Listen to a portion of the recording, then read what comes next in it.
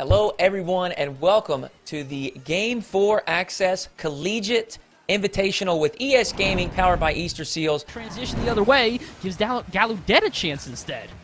And I think you nailed it there with that pace. There's another opportunity for Lionblaze. The ground game, the 1v1 experience showing. He's going to get that flick just to the backside. The defender diving forward, trying to uh, protect that near post, but Lionblaze spots it, goes wide. You know, they're probably going to put one in with four minutes left to play. Punisher trying to put Whoa! one in of their own.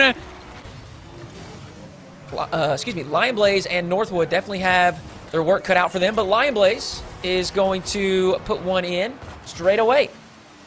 Well, Lionblaze said, eh, you guys aren't going to keep a huge lead on us for long. And again, not surprising to see the aerial mechanics being displayed here. A quick 1-2 to get them back into the game. And Get anything started there for offense. Lionblaze, a little bit of boost in the tank. He's up to the backboard. We know he nails these doubles, and he does it there. Lionblaze will put in a second. Yeah, Lionblaze is saying, all right, if the rest of the team can't score, I'll do it myself. His second unassisted goal in a row, and these are the mechanics we were talking about before. Might not be the flip reset, which I uh, failed to describe earlier today, but a double touch is a little bit easier to describe as it is. They're not going to be stopped by an internet issue. Lionblaze, another one. And they have done it. They have tied this up, Bass. And this is the flip reset I was talking about. When you go into the air like this, you're not supposed to be able to flip again, but when you land all four wheels on the ball, well, that's exactly what happens. Uses that flip at the perfect time, tucks it into the corner so delicately. Start things off with a booming clear and a full tank of boost. He's going to pursue this down the field, see what he can get started through the corner. A 50 Oh. 50 and a double commit. Lionblaze has done all the work. Tibbles just needs to tap it in. Northwood. They're doing a good job at containing most of these plays. But as soon as I say that, a single miss on defense and Lionblaze finally punishes like we said he would. Tibbles with a pass across. Lionblaze unable to make contact. Tibbles there for the pickup. and Now they got to hustle back. Punisher with a wide open net, and this is why we said it. You don't want to extend too far up the field and leave that backside exposed. Punisher, he will punish. And instead, it's actually led them into defensive stance of their own. Where's the shot? Punisher takes Ooh. it and sinks it. Gallaudet, quick flip of the script here, and they're up 2 1. Critical save there from Punisher on the hustle back. They've got 19 seconds to hold. Lionblaze cut past one. The low 50 and Lionblaze will force it in. Once again, the 1v1 skills coming to fruition. So if you're going to have that, you're going to play defensive, which might give Lionblaze Ah! and Tibbles a chance to score. 3 3 with two to go. That is what we call ice, Bass. Beautiful stuff from Tibbles, and you know that that is a calm. Tibbles, an awkward situation, but he will get it to the corner. Lionblaze secures that corner boost as well, but they drop it central and Punisher. 133 in overtime. They get their first W of the series. Why did the offense hesitate because of it? Well, we learned why. He got physically removed from the net, just like Lionblaze is Oh, physically my. removing a oh. potential of a stoppage here. This is disgusting. Competitive Rocket League everywhere in between. The one thing that Lionblaze has not been is inconsistent. Unfortunately, the shooting for Gallaudet, a little Hmm. bit inconsistent. As multiple shots go on, none of them in. One more chance, and there's no contact found. And those are, Bass, you know, those are tough when you've got a teammate that is moving forward and, and you expect them to make that touch. For you to stay focused, It's probably what they're going to do here, and already we're seeing evidence of that. Tibbles rushing into offense as aggressively as possible, but maybe should have been there for the rebound. All three players on defense hesitate. No one goes for the ball, but it's okay. Lionblaze will get Woo. denied. Never mind. More on the line defense. I mean, they are pouring on the pressure, but Gallaudet up to the challenge, and now Punisher, the all-star for the squad, he's going to force it through. The rich kid will actually get credit for it. Two-goal lead mounted for Gallaudet. And the further we get into this, the scarier it gets for Northwood. Having uh, scattered success, I would say, has found himself a home with TSM. But that third player may not be enough, Bass. Gallaudet and the all-star Punisher are going to strike first here in Game 5. You're setting the precedent that you can be beaten. It's 1-0. It's only 40 seconds gone, but very rarely do we see series start Oh! off like this, and the response from Northwood is being silenced every time. Also a bit errant, HockE. A third attempt, and that's blocked by Gallaudet as well. Another pass across, and this time Northwood will knock it home. 3.34 on the clock, and we're tied up. Well, Northwood are happy to see that because they just keep doing this, these aerial plays and Oh. these passing Oh. plays that are executed to perfection. Unfortunately for Gallaudet, they'd at least like to be able to try this themselves, although try as much as you want. I don't know if you can do it as clean as HockE. That was so beautiful. You could see it lining up. The dying embers of the game will eventually extinguish. Northwood, although I can't say I'm surprised, you come out on top. But Hootie, what a first round of the tournament! This one was full of its ups and downs, and although Northwood end up on the up, this was very exciting. Absolutely, and we got to give a shout to Gallaudet. They played competitive. Obviously, yeah. this is a little bit of a wonky series. Uh, we're going to head over to the bracket and take a look how all of round one unfolded.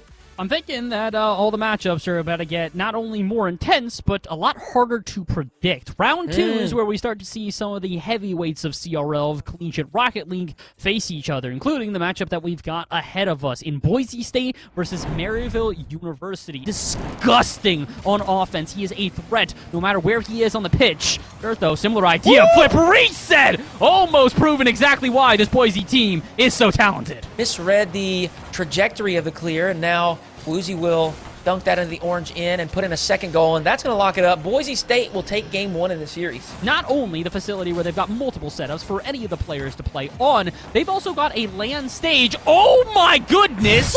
where the team competes in every tournament. And apparently he gives them some coordination buff, because what a passing play! Wow, Durtho, what a touch, and that's it right there, Bass. That is the perfect example of the selflessness. This is just how good this team has been throughout the season. Again, another thing to talk about, you know, we said, oh, runners up to the CRL championship. Yeah, runner up is great! So is that double touch. I'll go back to complimenting Boise in a second. I gotta give Maryville, or Maryville their props. This is disgusting. And see, the thing is, Adam, that's a great And it look actually kind of works out. the patience too, Bass, as they get that offense set oh, up. Oh no! Oh, Oh no! I mean, what a slot from Adam. That is the perfect shot to the top right corner. This is a beautiful shot. I just didn't think that it would ever make its way in. And honestly, Oh I don't think. Preston did either. Two minutes to go. They're launching up even more offenses here, but Boise so far unsuccessful in many of their attempts. They need to get something going and to stop Night. This dude is on Oh. fire. I'm just going to sit and watch this one, Bass. I mean, that is beautiful finesse. Wowza. Find out. Four and a half minutes to go. Boise already getting stuff started. Durtho, props to you. Doesn't even believe that's in. He reads that bounce off the backboard before it even hits the ground. Look at that rip from Preston, too. That pass across from Durtho is very nice. And there's that team. Can they ride that wave of momentum? Woo, uh, excuse me, Preston off to Wuzy. Wuzy to the backboard. And he has the double. What a narrow angle to work with, but Wuzy can slam it home. Narrow angle? I don't think there was an angle. I think this was negative, basically. How on Ooh. earth, Wuzy? That might have been one of the best double touches I have ever seen in Rocket League, let alone collegiate. Safely away from the oncoming attack from Boise and a shot from Buddy. A secondary touch as well. Whether it's intentional or not, it was nice. And you really get the feeling that they've got to put this in right now on this press, or it's probably not going to uh, happen. And they do. Buddy with a zero angle redirect. I mean, he snuck in this play from behind the defenders. Look at him. He's in the net right now. Adam puts it towards the target. Buddy, that is a fantastic shot. And while he's close to the target, Bass, you know that is a difficult shot to execute. It's all on the line. Night up quick. Does have the reset, but so is Wuzy up quick. Uh oh. Adam in a good position. Preston being bumped, and Adam with the flip reset 12 seconds in. Maryville secure the victory in game five overtime. You can tell off that dive up front, the midfield, which has been so locked tight, a single miss. And all of a sudden, that lock bursts wide open. Maryville in a 2v1 the other way. The lead blocker clears the lane. And they find themselves a bid into the semifinals. He's preparing for the worst case scenario. Good example is on the back end. Night waited for the 50 to bounce out, and then eventually dove when he saw an oncoming attacker. The issue is, is that when it doesn't work out, that's an opening. First miss we see in the first goal that is scored. Play against, but against the Boise, that, as we mentioned before, the fastest teams in the league, you'd have to imagine they'd be a bit more prepared. Stay on the ball as 50 50s aplenty on either side. No one doing all too much with them until the hesitation. Maryville let this one linger in front of their nets when they definitely shouldn't have. Look at that from Kinsey. That first touch is magnificent. Getting that reset. I'm not even like disappointed. I'm not even angry. I'm just sitting here going, oh no, that's got to sting, and so should that. as now both teams have missed wide opportunities on either end. With 70 seconds to go, I have a feeling the next goal we do Woo! see Woo! could be the decider. And Fisher, their demo chasing on offense, finally pays off. Kinsey will collect. Flicks past one, but Night will collect. Drop from Buddy Ooh. to Night. The shot is wide, but Adams there for the finish. A one, two, three play, and Maryville looked like they took a note in the last series. Halfway point. As Maryville just need to let this hit the ground and they will have the game. Fisher determined to see otherwise. Pass out! Oh! Shot in! And Fisher send us to an overtime! Whoa, Kinsey the patience. Look at this. He timed this to perfection. He cannot let that hit the ground, and neither can Sosa. He slots it just out of reach of Night, and at zero seconds, we get some magic. Can Fisher complete the sweep? Let's head to overtime. That's Lofting Central. Adam with a shot. Night off the crossbar. Once again, the woodwork causing problems, but Adam with a quick rebound, a quick turn, and he'll put in a goal for Maryville. They're not done yet.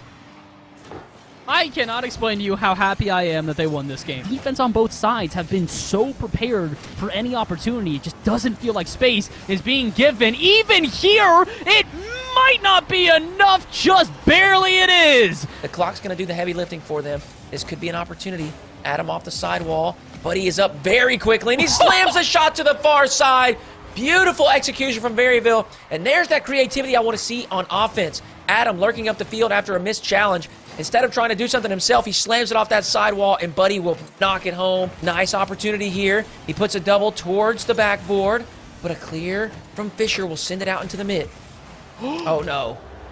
And Oh, that'll do like it. Not like this, Bass. Not like this. After all this quality gameplay the whole time, this is how we finish it up. Just a, uh, I mean, just a basic aerial touch from Sosa, and no one from Maryville is back. One more match to go. Grand finals up next. We have Harrisburg taking on Fisher. Will intercept, but they do seem to continue the press, and that is not the greatest clear from Kinsey. Nex is going to step up and easily tap that in. Fill in those gaps. They will pre-jump almost every touch. Good example. Ooh. I knew Ooh. Nex was going to be Oh. there. I didn't necessarily m- expect him to miss the shot. It would have ricocheted all the way Uh-oh. downfield into a goal. Instead, Sosa looking to equalize. Shot Oh. off target. The rebound isn't exactly there. It'll stay up, but somebody needs to take a shot. Sosa tries. Tikro deflects. Kinsey cannot keep it up. Wow. Harrisburg will take game one. dilute the offensive press here, but Kinsey does a great job to hold on to possession. And that's all they needed. Hold for a moment, let that final player respawn in, and once they got all three involved, they put that second goal in. A great play for Money to get a second touch as he drops it to Sosa. would have been pre-jumping that one two ways to Sunday in the last game. This one, mm. realizing they have to play a bit more Oh. patient. If they keep on jumping at everything, it may not work out, but that will. Tcorrel, flip reset into the bump. This is filth. Woo! I love these kinds of plays, letting the ball just slowly roll into the target. Tcorrel threatening once again, Nex up early, and he's found the top left shelf. Harrisburg tie things up. He's working down the sideline. He's got it around one. He's got no boost, but he slings it. Oh my word! I thought it was in. Only turn into much and 1v1 versus Tcorrel. I do not envy you, money, and that's the reason why. Oh, no. I was going to say he actually just buys time for his teammates to get in position. The issue is, if your teammates don't do their job, it doesn't matter. Uh, That's a big miss there from Kinsey. It's an awkward angle sailing through the sky. Had no intention of uh, pursuing the ball, but instead just wanted to pursue the play. There's another bump inside the box, and Sosa will capitalize this time. Fisher strike first in game three. Fisher strike first after two minutes of offense, and it's an accidental shot. I was going to say boost in time, but not enough time as quickly. Sosa collapses on him, and Nex decides, all right, cool. Don't give me the dribble out of my own half. Let me just pre-jump this one instead. Again, I don't know what it is about this Harrisburg team, but they try as they might, still can't stop the counterattacks. What a great pass for money. and you don't come to the play, right? You sit there and you wait on the ball to come to you. Sosa did not do that. He pursued the play, stepped forward, and slam that shot off the near post. try and turn this around later in the series. Hold on now. Oh. Oh. Keep the speed up. Keep the uncomfortability up. I want to see those pre-jumps. When it worked, it worked beautifully. Um, Oh! Yeah, that, that, that isn't exactly working beautifully for Harrisburg. Look at this. Money off the ceiling. An air dribble demo, not an air dribble bump. Looks to go around the goalkeepers. Final 10 seconds. Kinsey's shot is on, and that's going to secure game number four. Unless we have some absolute shenanigans here to follow. Harrisburg down by two with seven seconds left. 0 0 as well. Both teams, they don't want to be that first to concede. They know that it's so difficult. Oh, no! Bass! Not like this! A pinch central from money, and you've got a defender who has walked just a hair off the goal line and Nex ends up own goaling for the first goal of game five. The clear over Nex. T. Carell will be dispossessed by Kinsey, and all Fisher need to do is knock this to the ground. Sosa does it. Fisher complete the reverse sweep, and they are your game four access collegiate invitational champions.